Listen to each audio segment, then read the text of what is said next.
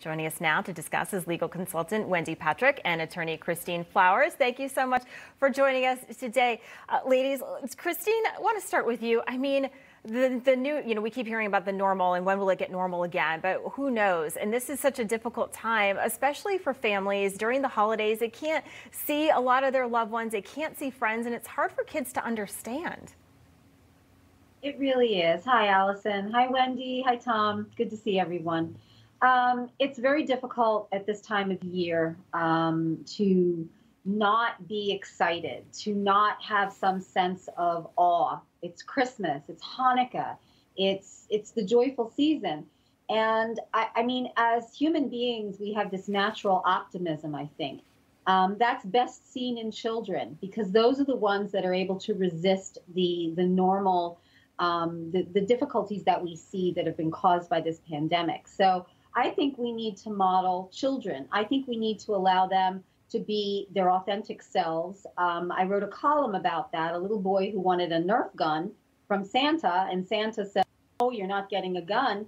And the miracle of Christmas was that the little boy ultimately did get his Nerf gun because they realized the uh, the mall Santa um, resigned, and the uh, other Santa that was hired came and delivered the gun because he wanted to deliver something more than just a toy. He wanted to deliver hope and normalcy and the spirit of Christmas. So I think that's what we need to do. We need to hold on to those traditions and look at everything through the eyes of a child. Wendy, obviously this country is not only politically divided, but also with the governors have varying restrictions. And I believe you're in San Diego. So is is California and San Diego going to be any different this Christmas? And how would you recommend uh, you know the families carry on, especially in a state that's being really really restrictive? Yeah, that's right. Tom and Allison and uh, Christine hit on this as well. Resiliency really is the the name of the game when it comes to how are we going to celebrate the holidays this season. And it really has to do with creativity. That has been something that's characterized the holiday season this year. Pandemic protocol, okay, that's changed the rules of engagement, but only insofar as how, when, where, and how close. We can still bond through brainstorming in terms of coming up with new ways, with new traditions as to how we can celebrate together. And there's been some great suggestions that are percolating on the internet if you want to have a look. Everything from ugly mask contests to app watching parties and, and Christmas caravans where everybody's on speakerphone. You know, one thing we've all become, even adults, is how we can come up with new ways to spend Christmas together. But I want to pick up on something Christine said as well.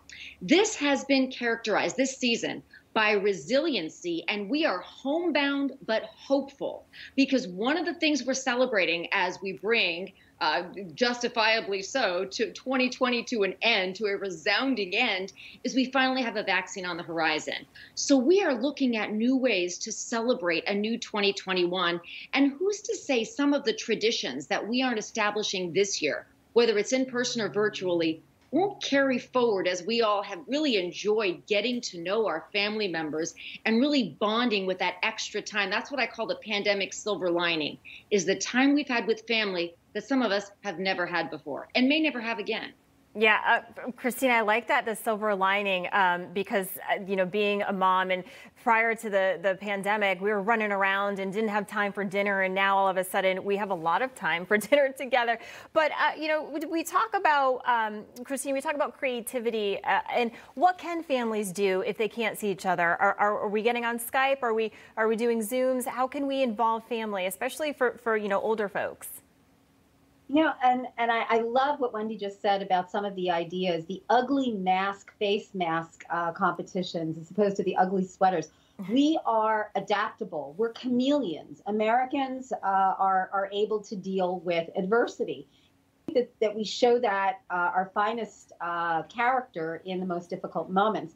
Um, I personally, I have uh, someone in my family who has a pre-existing condition, and so I've actually left my home and put distance between us by staying at an apartment in Center City, Philadelphia, whereas my my um, my homestead is outside of the city. And the way I keep in touch is through FaceTiming. And, you know, FaceTiming a 12 year old nephew can be a lot of fun because he's never in the screen at the same time. He's always bouncing around. But I think that the technologies that we have are amazing to keep us connected. As long as we know that at the end of this, our families and our friends are still going to be there, and we will one you know one day be able to touch out, reach them, and hold them again. And in the meantime, we just speak through portals, but um, the heart is the same. The technology is just creating something, creating a way for us to do what we normally would, and that is communicate the love that we have for each other. Wendy, we only have about 15 seconds. Any real special advice quickly what uh, people, parents can do for their children who've really been hard hit this year? Yes, absolutely. We need to be mindful that health includes emotional health. And sometimes we make assumptions about our children without asking them, What would you like to do? What do you feel about this? Sometimes there's a stigma around mental health, even with young people. Sometimes it, you know, it just takes a minute